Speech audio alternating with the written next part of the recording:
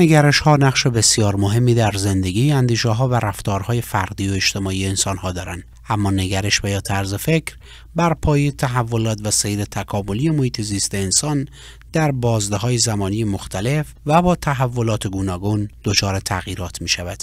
از این قاعده تحول نگاه های اجتماعی و فردی به محیط ماحول افغانستان و هرات نیز مستثنا نیست. تغییراتی که حتی اندک در دید اجتماعی اکثریت قالب شهروندان هرات ایجاد شده است حکایت از شیب نرم تغییر دارد. یکی از این تغییرات که شاید تا پیش از یک دهه اخیر به عنوان یک تابو به آن نگاه می‌شد بحث ارزش دادن به زیبایی به خصوص برای زنان بوده است. هرچند الحمدلله حال ما می‌بینیم تقریبا این موانع واقعا خیلی کم شده نسبت به گذشته ها گذشته ها شما حتی برای برداشتن یک خال هم خیلی به مشکل مواجه می شدین و تقریبا با همه افراد فامیل باید میششتین و مذاکره می‌کردین تا که اینا قناعت می‌کردن یک خال بردارین از صورت یک خانم یا یک دختر خانم.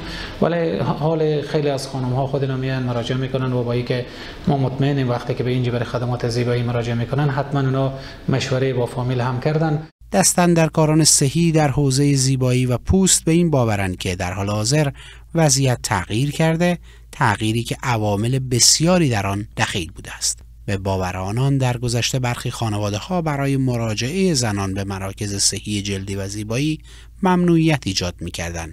اما اکنون این محدودیت ها برداشته شده است آنطور که گفته می شود زنان اکنون بیش از گذشته به زیبایی ارزش قائل می شوند و مردان نیز به این خواست زنان تن میدن. خوشبختانه که در ابتدا ما وقتی که شفاخانه شروع کردیم ما یک از یک محدوده بسیار کوچک شروع کردیم.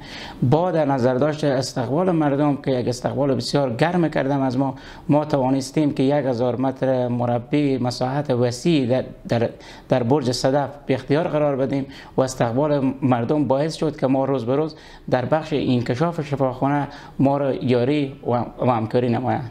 دکتران متخصص در حوزه زیبایی و پوست در هرات به این باورند که اهمیت دادن به زیبایی یک نیاز است و مردم نیز بیشتر به این مسئله ارزش قائل می شوند. ظاهرا مراجعه کنندگان نیز نسبت به وجود مراکز صحی زیبایی و جلدی ابراز خورسندی می کنند. زیبایی خیلی مهمه ظاهر خیلی مهمه.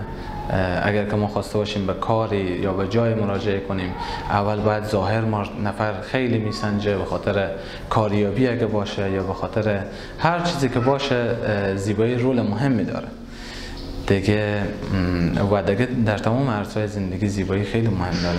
به خاطر زیبایی مثلا به خاطر چین شروکی که به صورت خود دارم به خاطر داغای سالدانی که به صورت خود دارم به خاطر خالای سیاهی که به صورت خود دارم مثلا به خاطر ریزش مویی که دارن دیگه به خاطر که مو زایدی به صورت اینا یا دیگه اعضای بدن اینا پیدا میشه به این خاطر مراجعه به گفته مسئولان صحی بیشتر افرادی که به مراکز زیبایی و جلدی مراجعه می‌کنن زنان هستند و از طرف دیگر این قش بیشتر در رده های سنی بین 20 تا 45 سال قرار دارند.